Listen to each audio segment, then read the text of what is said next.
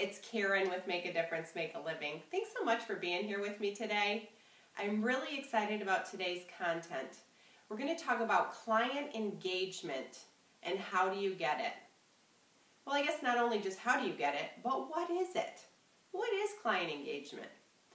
Client engagement is, it comes from you putting out regular, consistent material and content to your audience, whether that be through social media or your email management system, your newsletter, wherever you are sending out information, and the response that you get back from the clients that are reading it.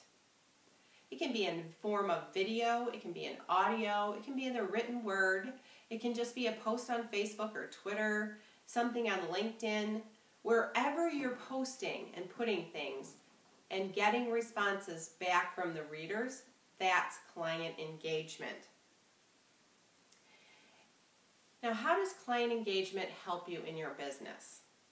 Oh my goodness. Well, we it helps so much more than what I can tell you about right here in this few minute video. But what it really does is it builds momentum because we both know that when people start talking about a topic, it doesn't matter if it's the new new style of M&Ms that come out, the latest reality TV show or your business.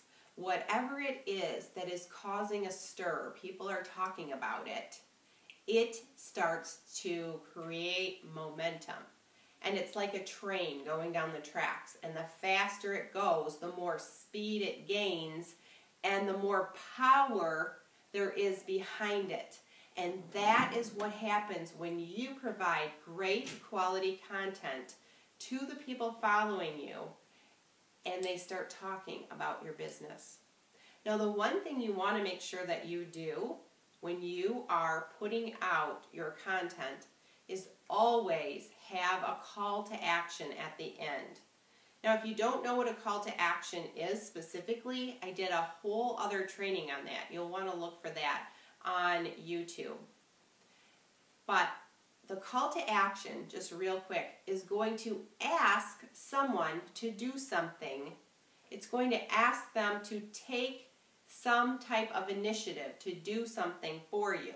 So, for example, on many of my blog posts, I will put at the very end a call to action. And typically, I will ask the reader to come to my Facebook page and tell me how that article impacted them. How did that help? What did it do for you?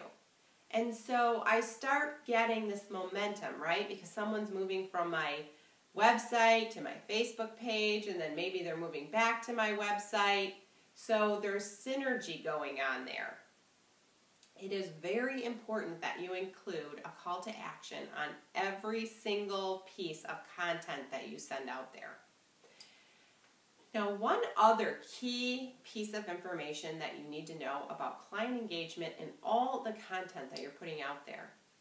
I recently heard from um, a gentleman, a market, marketing person at HubSpot, that 70% of their brand new opt ins, 70% of the people being added to their email list is coming from articles that they wrote more than a month ago.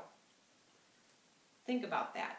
So, their whole team, as he put it, their whole writing team could totally go on vacation at the exact same time and their opt-ins would probably only drop by 30%. That's the power of your content. And that is the power of good quality content.